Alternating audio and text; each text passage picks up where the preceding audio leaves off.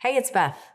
Todd and I have chosen to grow our large family through adoption and foster care and biological children. And our most recent adoption a couple years ago was of a 12 year old Mexican boy. And it took about a year and a half from when we identified him as being a part of our family to when he actually got to come home.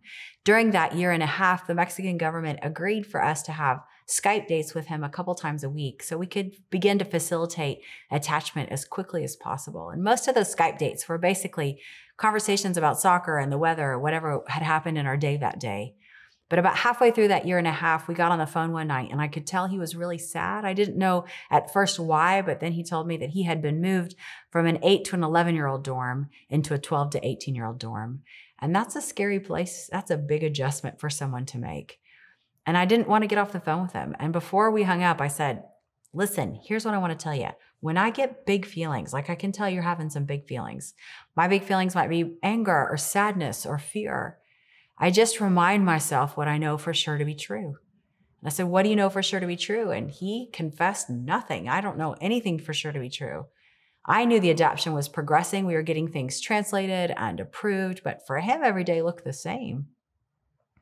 I said, Okay, well, I'll tell you what I know for sure to be true, and you can have it. I know for sure that you're our son and that we're coming for you. I don't care who hasn't figured it out yet.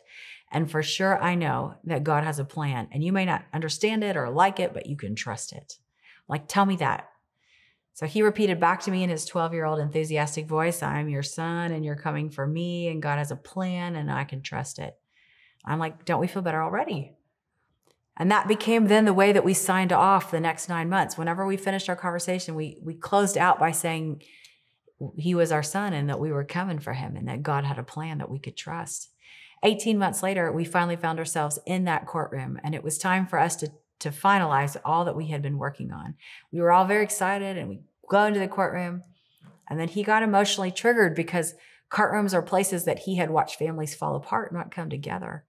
But we kind of ignored the fact that he was triggering and we kept testifying and social workers and psychologists and attorneys and Todd and I all said what we had to say. But in Mexican law, if you're over the age of 12 and you're going to leave your country, you have to testify in your voice in open court that it's what you want.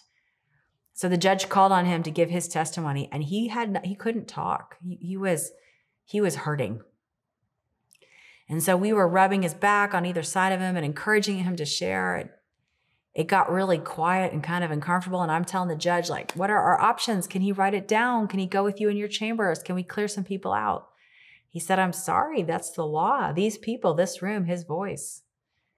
So we just sat there for a few more minutes until finally Tyler popped up his head and he looked at the judge and he said these words I'm their son and they came for me.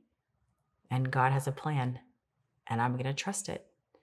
And I told him later that night, that's exactly why we sow truth into our heart so that it's ready in a moment's notice for us right when we need it. It would be a few months later he would walk into an American junior high in August, not speaking a word of English, afraid out of his mind. And I told him, What do we know for sure to be true? You're our son, and we came for you, and God has a plan, and tomorrow we'll trust it.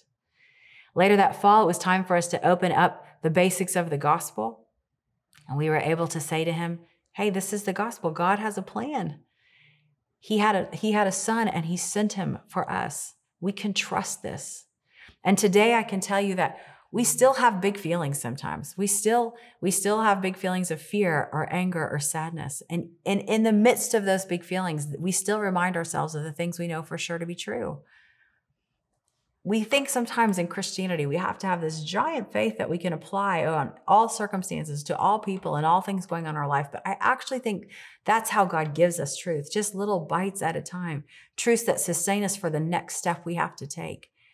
In 2010, Todd and I had a chance to travel to Israel for the first time, and we were watching the shepherd. He was had his sheep and his goats up on this field grazing. And the first thing I said to everybody was, This shepherd did not pick a very good field because there's not any grass up there. And the guide was like, Beth, look under the rocks.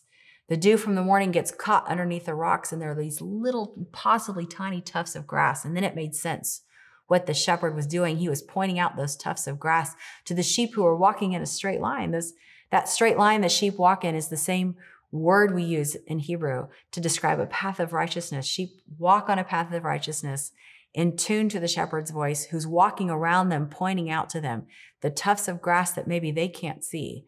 that's underneath the rock waiting to sustain them. And then how long does it take to like chew a couple tufts of grass, like four steps, and then they're looking for the shepherd to get more to sustain them in a continual sense. And I looked around to everybody. I'm like, nobody better read to me Psalm 23.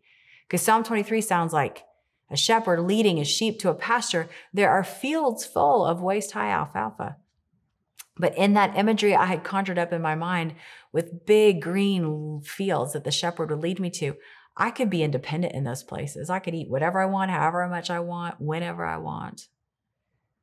And the image I was looking at in Israel was like this sheep looking for a tuft of grass, led there by the shepherd, sustaining them for a few steps, then dependent on him again for another tuft of grass, and dependent on him again for another tuft of grass.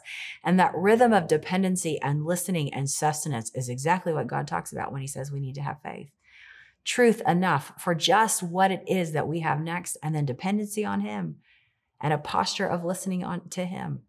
And that's the kind of faith I think sustains us in all the big stories and the big feelings that we have throughout our life. And that is what has carried me through the raising of our family and the engagement in this ministry and the life that we live.